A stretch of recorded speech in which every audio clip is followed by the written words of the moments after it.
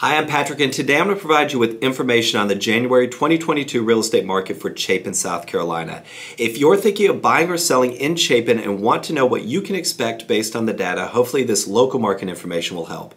We're going to cover the total number of closings in January, how many of these homes closed for more than list price, and the average over list amount buyers were willing to pay for these properties.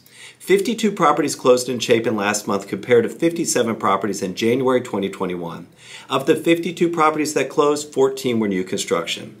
The most interesting data is the average amount buyers were willing to pay over list price. 20 of the 52 properties that closed in January went for more than list, and this is a strong indicator that we continue to be in a seller's market and buyer demand in this area is high.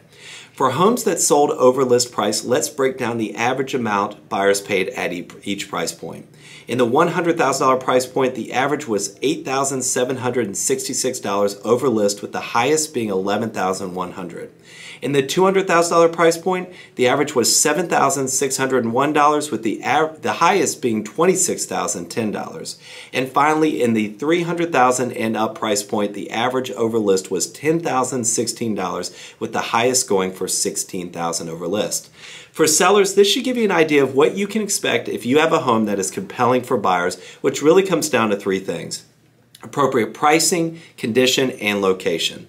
Buyers, I don't want you to be discouraged by these numbers. If you're looking to buy in Chapin, my hope is that the data will help you and provide information as to what you can expect to compete in this market. That being said, the market changes daily and it depends on factors such as the inventory, buyer demand at specific price points, and interest rates.